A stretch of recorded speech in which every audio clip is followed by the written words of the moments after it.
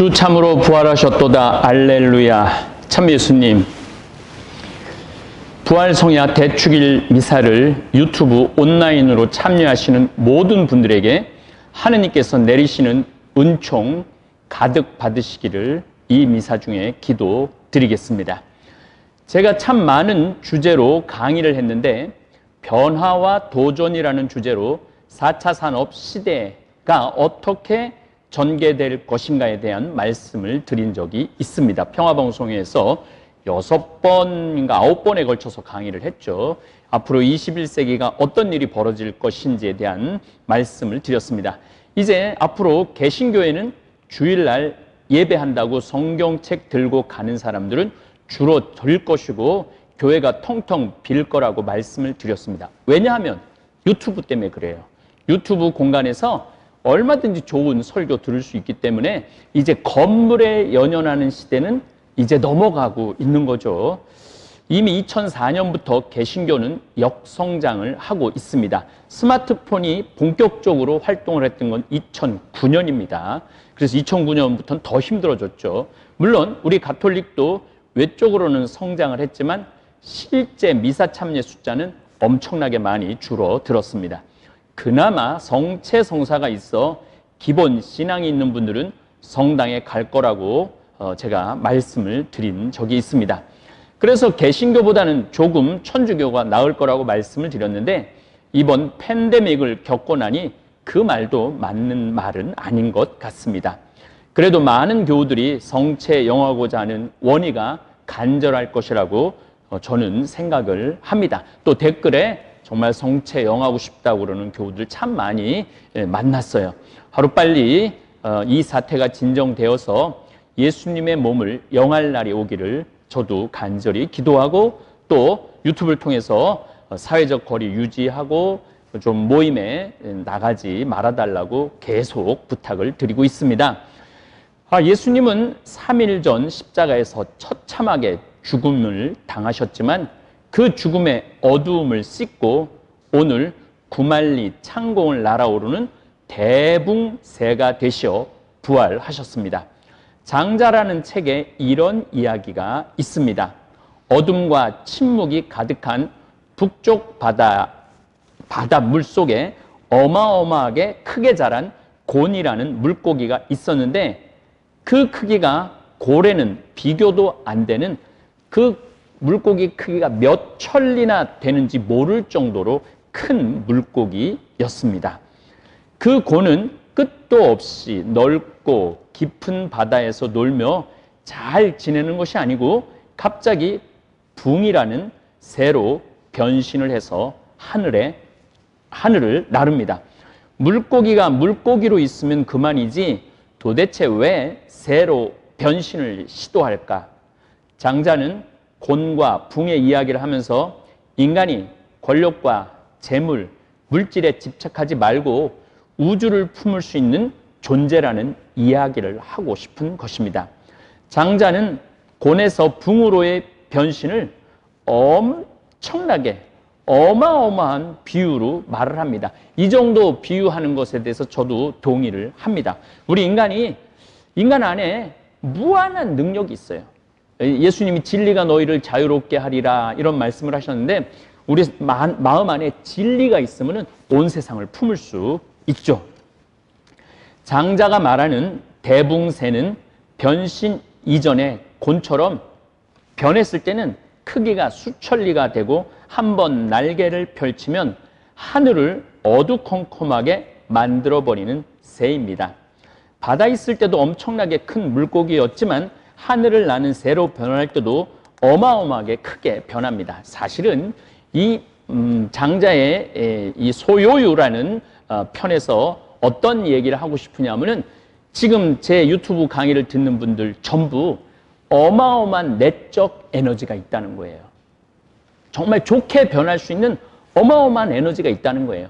그런데 변하느냐, 변하지 않느냐, 거기에 따라서 정말 구말리 창공을 나르느냐 바닷물 속에 그냥 계속 갇혀서 사느냐가 결정되는 것이죠. 물고기에서 새로 변신을 끝낸 붕새는 자신이 살던 북쪽 바다를 날아다니는 것이 아니라 반대 남쪽 바다 남명으로 날아갑니다. 그런데 문제가 있습니다. 붕새가 워낙 크다 보니 쉽게 남쪽으로 날아갈 수가 없었습니다. 나뭇잎 배는 나뭇잎 배는 접시 안에서도 물에 떠다닐 수 있지만 큰 배는 그것을 받칠 만한 대양 큰 바닷물이 필요하듯 붕새가 날아가려면 그만큼 강한 바람이 있어야 되고 바다에 물의 에너지가 있어야 된다는 것이죠. 바닷바람에 힘을 입은 붕새는 날개가 삼천리, 우리나라가 삼, 한반도고 삼천리 금수강산이라고 그러잖아요. 날개가 삼천리나 되어서 어, 한 번 날아올 때 구만리나 날아오를 공간이 필요했습니다. 붕이 남쪽으로 날아갈 때는 삼천리 바다에 파도, 파도를 일으키고 회오리 바람만 타고 구만리를 날아올라 6개월 동안 쉼없이 날개짓을 한다라고 말합니다. 한마디로 무한한 우주의 무한한 세계로 날아간다는 이야기입니다. 오늘 예수님께서 부활하셨죠? 그 우주의 무한함을 우리한테 선물로 주신 거예요. 우리는 그 무한함을 받을, 받, 받아들이기 위해서 우리도 곤이라는 바닷속에 있는 물고기에서 붕이라는 어마어마한 세로의 변신이 필요한 것입니다. 매미와 비둘기가 그 붕을 비웃으며 말합니다. 우리는 있는 힘을 다해 날개짓을 해도 느릅나무나 다목나무 가지 끝에도 못 닿고 때로는 바닥에 떨어지고 만다. 그런데 어찌 구말리 먼 하늘까지 올라 남쪽으로 가려 하는, 하는가 정말 웃긴 놈이다. 우리가 교회로 소풍을 나가면 하루 세 끼만 있으면 충분하지만 백리길을 가려면 하룻밤 동안 곡식을 찌어야 하고 천리길을 가려면 세 달 동안 식량을 모아야 합니다. 우리가 영원한 삶을 살기 위해서는 우리 일생을 준비해야 돼요. 우리 일생을 제가 요즘 신천지 얘기 참 많이 하는데 신천지는 14만 4천 명만 채우면은 자기네들이 제사장이 된다고 그래갖고 그 14만 4천 명을 채우려고 정말 밤낮 뛰어 다니는 그 신천지하고는 차원이 다른 거예요. 이 지구에는 78억, 이제까지 한 700억이라는 인류가 이 세상에 왔다 갔는데 그 모든 사람들이 무한한 세계에서 자유를 누릴 수 있게 하기 위해서 예수님께서는 십자가에 못 박혀 돌아가시고 부활하신 것입니다. 여러분들은 영원한 소풍을 위해서 지금 어떤 준비를 하고 계신지 어, 궁금합니다. 조그만 날짐승이 대붕의 비상을 어찌 알겠습니까? 작은 지혜는 큰 지혜에 미치지 못하고 짧은 수명은 긴 수명에 미치지 못합니다. 조균이라고 아침에 피어 저녁에 시드는 버섯은 밤과 새벽을 모르고 매미는 봄과 가을을 모릅니다. 장자 내편 첫 편의 소요유 서막은 곤과 대붕 이야기를 시작을 합니다. 이 참 의미 있는 얘기예요. 노자 장자의 이 뭐 별말 아닌 것 같은데도 그 노자 장자를 잘 읽어보면은 자유를 알 수 있고 무한을 알 수 있고 그 다음에 무 없을 무 니히트라고 에, 없, 없, 없는 것에 대한 이게 없기 때문에 있는 거예요. 없기 때문에 없는 게 없으면 존재가 할 수가 없어요. 다시 말해서 밤이 있기 때문에 낮이 있는 거예요. 우리가 죽음이 있기 때문에 삶이 있는 거예요. 그래서 죽음이 없다면 우리는 삶의 의미가 없어요. 그리고 그 죽음 이후에 영원한 생명이 삶을 빛나게 해 주는 것입니다. 공자는 논어에서 벗이 멀리서 오니 기쁘고 배우고 또 기쁘다. 또 배우고 익히는 일이 기쁘다는 소소한 즐거움을 이야기했다면 장자는 우주를 이야기하고 변신에서도 초연한 변신을 이야기합니다. 바다에서도 수천이나 되는 물고기 곤이 붕새로 변하는 과정은 결코 쉽지 않습니다. 곤이 입이 새 주둥이로 뾰족하게 튀어나와야 되는 고통이 있죠. 배가 날개로 길게 늘어나서 펼쳐지는 몸이 뒤틀리고 휘는 고통의 과정을 거쳐야 하늘을 날 수 있는 새로 변하는 것입니다. 곤의 변신은 살을 찢고 몸을 비트는 듯 극심한 고통을 겪어야만 하늘을 날 수 있는 대붕이 될 수 있는 것입니다. 장자의 변신은 물고기에서 새로 바뀌는 것처럼 종의 경계를 넘어서는 거예요. 보다 근원적인 이 근원적인 변화를 이야기한 물고기 종하고 새하고 물론 뭐 물고기에서부터 새가 나왔다고 하기는 하지만은 이 변화는 굉장한 어, 근원적인 변화를 말하는 것입니다. 장자는 고통이 따르는 변신을 위해서는 용기를 내야 한다고 말합니다. 여러분들, 우리 오늘 예수님 부활 대축일을 맞이하면서 생각을 크게 가지셔야 돼요.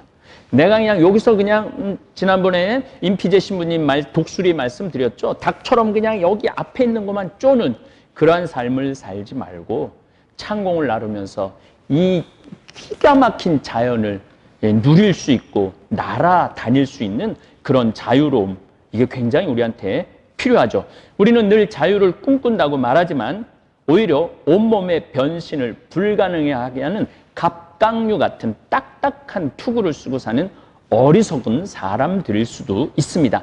그러니까 내가 한 번 가진 고정 개념을 그게 옳다고 죽을 때까지 그것만 고집해서는 결코 변화할 수 없습니다. 에, 조금 나보다 많은 것을 아는 사람, 또 도가 깊, 저도 가끔 아주 도가 깊은 스님들을 만나러 갑니다. 그래서 스님들하고 차를 마시면서 이야기를 나누다 보면은 야, 이 참선하는 스님들의 이 생각은 일반 사람들 생각하고 많이 달라요. 스님들 중에서도 수도승이 있고 그냥 일반 승이 있죠. 참선하는 스님들 결제, 해제를 해가면서 돌을 닦는 스님들하고 얘기를 해보면은 아, 마치 장자하고 이야기하는 기분이 들 때가 많습니다. 그래서 우리는 나보다 더 훌륭한 선현들, 성인들 이야기를 자꾸 듣고 또 그것을 내면화하고 이해하려고 노력할 때 우리는 대붕으로 변할 수 있는 것입니다. 자기가 옳다고 자기만이 진리를 갖고 있다고 끝도 없이 고집 세우는 사람은 결국은 어, 오류 속에 빠져서 결코 변할 수 없을 겁니다. 제가 요즘 신천지 낱낱이 파헤치기라는 강의를 진행 중에 있는데 겨우 14만 4천 명에 들기 위해 거짓말을 하고 14만 4천 명을 모으기 위해 채우려고 길거리를 헤매는 매미와 비둘기 같은 삶은, 삶을 사는 사람들은 변화할 수 없습니다. 14만 4천 명이라는 늪에 갇혀 계속 허우적거리면서 바닷물 속에 영원히 갇혀 하늘을 날지 못하는 물고기 곤과 같은 신세가 될 것입니다. 대붕새는 새로 변화되어 구말리 하늘을 날아 큰 날개를 천하에 들이우고 저 남쪽 따뜻하고 살기 좋고 자유로운 곳으로 유유히 날개를 펼치고 날아갑니다. 곤이라는 물고기는 바다에서 살기가 너무 비좁기 때문에 익숙한 삶의 터전인 바다를 떠나 하늘로 오르는 것입니다. 여러분들 지금 내 마음의 크기를 점점 점점 크게 갖다 보면은 내가 지금 막 여기서 연연하는 거, 집착하는 것에서 벗어날 때 내 영혼이 커짐을 음, 예수님이 진리가 너희를 자유롭게 하리라 그러듯이 예수님 자체가 정말 진리죠. 예수님의 삶을, 예수님의 가르침을 내 마음에 새기고 그게 깨달음이 올 때 그 기쁨, 희열, 자유로움은 정말 말로 표현할 수 없는 것이죠. 물고기 고는 어둠의 바닷속에서 더 이상 살 수 없는 때가 되자 혼신의 힘을 다해 자신을 감싸던 비늘을 버림으로써 변화를 이룩했던 것입니다. 변화라는 것은 두려움이 있지만 거기에는 새로운 삶의 지평이 열립니다. 만일 곤이 희생과 변화를 두려워하여 물고기로 남아 있다면 하늘의 길은 결코 열리지 않았을 것입니다. 그 길을 따라 대붕새는 생명의 모습이 살아있는 자연의 나라로 날아갑니다. 북쪽 바다를 말하는 북명과 따뜻하고 자유로운 남쪽 하늘 남명은 곧 현재 자아, 자아와 탈자아의 은유입니다. 좀 말이 좀, 좀, 음, 제가 이제까지 한 중에서 굉장히 말이 좀 어, 어 렵죠 자아를 떠날 때 우리는 마치 데미안에서 말하죠. 결안에서 병아리가 그, 그 두꺼운 껍질을 깨고 나올 때 새로운 세상을 맞는다고 하듯이 우리가 우리의 껍질을 깰 필요가 있죠. 이와 같이 장자는 곤과 붕을 말하면서 사람이 현세의 속박을 벗어버릴 때 무한한 자유와 자연의 경지로 도달할 수 있다는 가능성을 이야기합니다. 사람이 대붕새처럼 자유로워지고 자연으로 돌아간다는 것은 창조의 원초, 하느님과 사람과 자연이 하나의 생명처럼 이어져 있는 상태로 들어가는 것입니다. 이렇게 되려면 먼저 그동안 익숙하게 살아왔던 조각된 세상을 버려야 하는 희생과 용기가 필요합니다. 예수님께서는 우리에게 참 생명을 주시기 위해 스스로 곤이 되셨다가 마침내 오늘 대붕으로 부활 하시고 영원한 세상을 우리에게 열어 주십니다. 오늘 대붕이 되신 예수님의 부활은 나에게 과연 어떤 의미를 던져줍니까? 예수님의 부활이 의미 있기 위해서는 우리도 예수님처럼 죽음의 세계를 쳐부수고 다시 살아나는 모습과 똑같이 나의 어둠을 쳐이겨 암흑의 바다를 패치고 높이 비상하는 대붕이 되어야 합니다.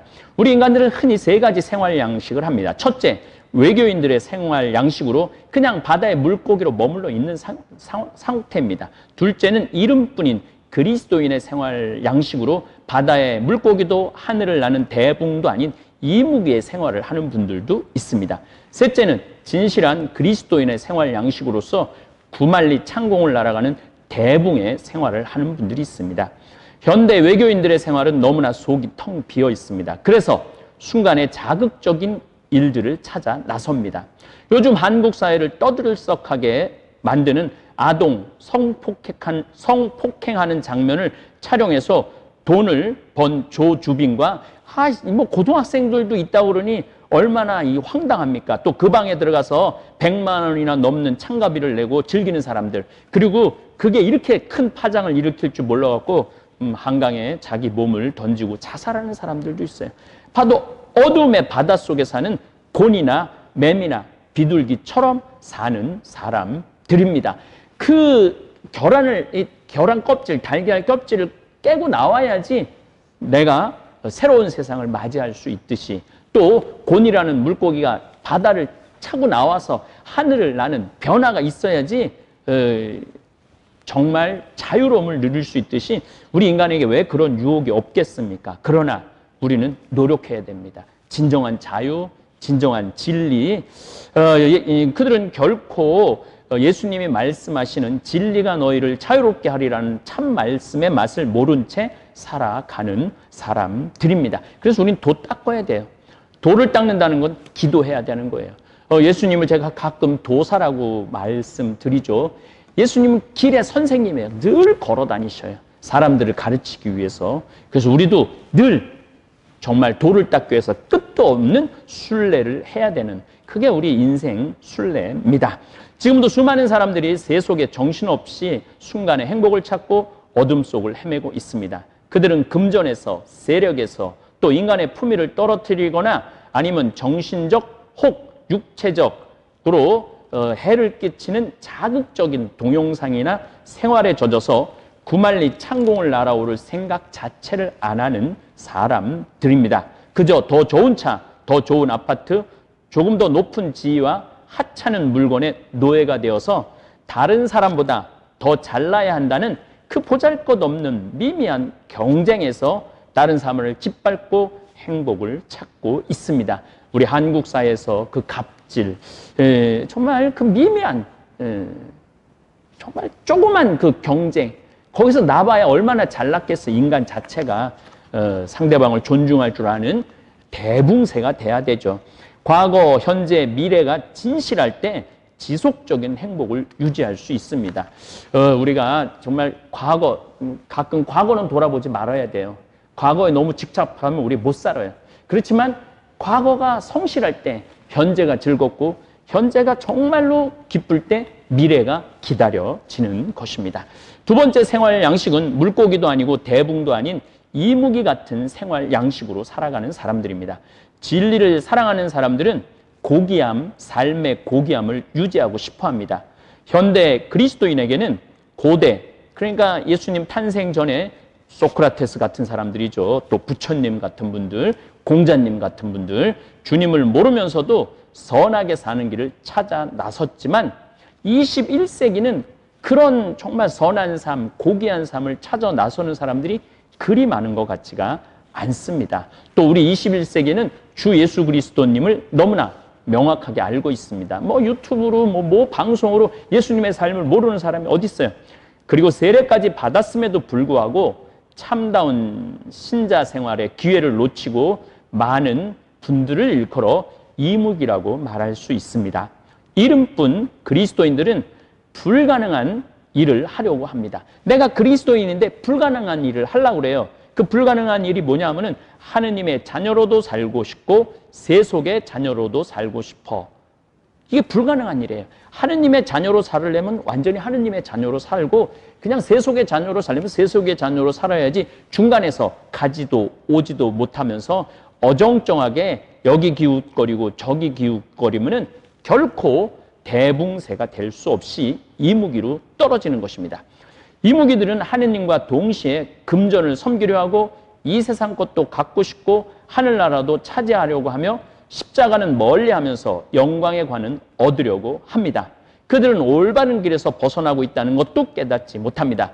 이제 조금 있으면 선거가 돼요. 보면은 그 권력을 차지하려고 얼마나 정말 욕을 하고 비난을 하고 그 본성을 잃어버리는 거죠. 살짝 미치는 거죠. 그래서 이무기들이 되는 경우가 참 많죠. 참으로 그리스도의 십자가를 따르는 사람은 그래서 그리스도와 함께 영광스럽게 부활하려면 그리스도와 함께 살고 그리스도와 함께 죽어야 한다는 사실을 알고 있습니다. 우리는 여러 가지 방법으로 그리스도와 함께 죽을 수 있습니다. 우리는 마땅히 해야 할 것과 하지 말아야 할 것을 구분할 줄 알아야 합니다. 우리는 대붕세가 되어야 합니다. 전철 안에서 자리를 차지하겠다고 먼저 밀고 들어가 노인을 보아도 졸고 앉아 있는 척하는 이무기는 되지 말아야 합니다. 마스크 한 장 더 사가겠다고 몸을 밀치면서 새치기 하는 새치기 하는 이무기는 되지 말아야 합니다. 당당히 그리고 기쁜 마음으로 노인들에게 자리를 내줄 수 있는 대붕이 되어야 합니다. 나이 한 살 더 드신 분에게 마스크를 양보하는 대붕이 되어야 합니다. 우리는 대붕이 되어야 합니다. 가족 식구들에게 지지 않겠다고 핏대를 세워가며 자신의 입장만을 고집하는 이무기가 아닌 가족의 기쁨을 위해 나 자신을 희생할 줄 아는 대붕이 되어야 합니다. 일생을 살아가면서 단 한 번도 굶지르거나 헐벗거나 목마르거나 병들거나 감옥에 갇힌 일들을 돌본 적이 없다면 구말리 창공을 나는 자유로움과 기쁨을 누리지 못할 것입니다. 매년 잠비아 봉사활동을 따라오는 50에서 60명의 봉사 단원들을 보면은 정말 대붕의 날개가 제 눈에 보여요. 참 자유로움과 기쁨, 그 세상이 주는 어떤 기쁨도 줄 수 없는 그런 뿌듯함을 봉사자들이 느끼죠. 우리는 목마르고 헐벗고 배고프고 병들고 감옥에 갇힌 이들을 돌보는 대붕이 되어 마지막 날에 오늘 영광스럽게 부활하신 그리스도의 모습을 닮아 대붕으로 부활해야 합니다. 다시 한번 예수님의 부활을 축하드리면서 우리 유튜브 구독자님들, 되살림 후원 회원님들, 잠비아 후원 회원님들, 특별히 성모 울타리 우리 엄마 빵과 일의 우리밀 사랑의 빵을 사서 드시는 분들은 이무기가 아닌 대붕이 벌써 되신 거예요. 벌써 날개가 있는 거예요. 날아가시기만 하면 됩니다. 모든 분들 오늘 부활 성야 미사 중에 하느님 아버지께 모두들 이무기에서 곤에서 대붕새로 어, 변해서 하늘을 창공을 나르는 그러한 자유로운 신앙인들 되기를 마음을 모아 기도하겠습니다. 주참으로 부활하셨도다. 알렐루야.